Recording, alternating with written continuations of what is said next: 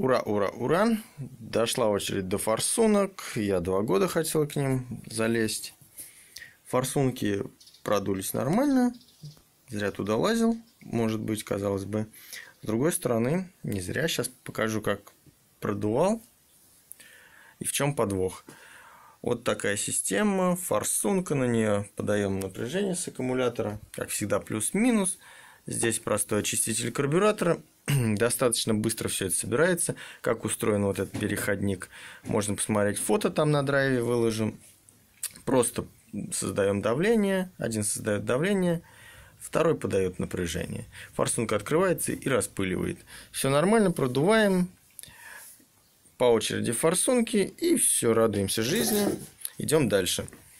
Дальше в каждой форсунке вставлен вот фильтрик вот с торца. Вытаскивается он достаточно просто по колхозному шурупам. Шуруп вкручивается в фильтрик и он вытягивается. Это форсунки BMW с 54 мотора, с M54. Фильтрики, к сожалению, Э, идея промывать форсунки пришла сумбурно, поэтому фильтрики нашел вот я похожие, прям, можно сказать, идентичные, в магазине, где продают детали для автомобилей «Газель», «ГАЗ». С фильтриками вообще все ништяк, они полностью идентичны, смотрятся очень хорошо, как, как будто так и было. Идем дальше. Почему не зря форсунки все-таки я снял? Оказалось, какой-то колхоз-молхоз, который делал это до меня, бог знает сколько тысяч лет назад, уже здесь накосячил, и машинка мучилась так довольно долго. Вот, к примеру, кольцо, которое э, держит зазор между форсункой и впускным коллектором. Видите, закусило при установке, забили так оставили. И здесь практически на каждом кольце такая же какая-нибудь косячина есть. Вот закус видно. Некоторые кольца вообще, интересно, непонятной формы. Мало того, что вот закус, так они еще и стоят так, как будто их просто вот ну, как-то, блин, скрутило. Может, к поносу это. В общем, эти кольца, которые стоят вот здесь, они влияют на подсос воздуха во впускной тракт. Ну, соответственно, смесеобразование и на экономичность, и на хороший холостой ход. То есть поменять их не помешает. Дальше, вот эти кольца, кольца, которые держат зазор между форсункой и топливной рейкой, что может быть плохого, они потекут. Но они еще были целенькие более-менее. Видно, что у них работает только одна плоскость. Вот одна одной стороны форсунка кольцо одной стороны стоит, другой другой. Видно, вот эта сторона прижата была все время, а вот эта постоянно подвергалась воздействию бензина и немножко постарела. Если приглядеться,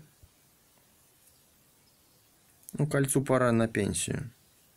К сожалению, так как я думал только продуть форсунки очистителем, я не купил заранее кольца.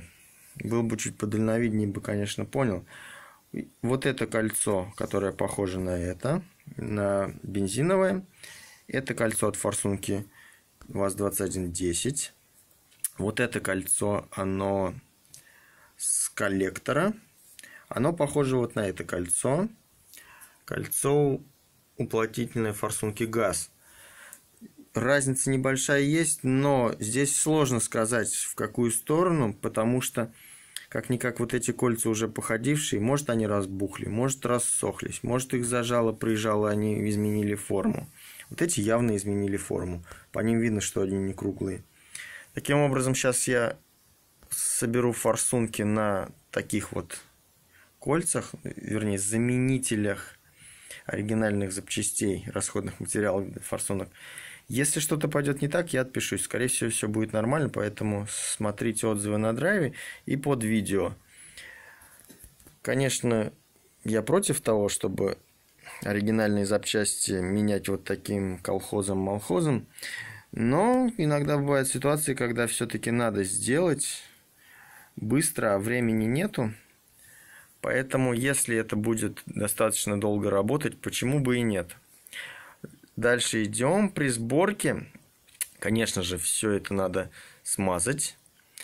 Ну, либо силиконовой смазкой, либо жидким ключом, либо ВДшкой.